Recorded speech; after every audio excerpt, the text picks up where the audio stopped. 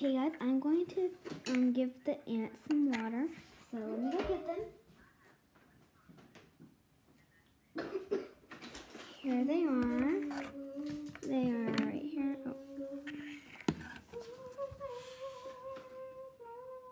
The planter's back here. Hey, say, it's Jason. How you doing, man? Planter. Okay. So now let me just take the top I'm, I'm off. Getting on this call. Probably no use whatsoever, but I'm getting on there. Hey, Dallas lost one. Uh-huh. Now I'm going to dump Uh-huh. this in here. Right here. And so they should be happy about that. So yeah, that's just how you feed them and stuff. So it was like two drips of water, like literally.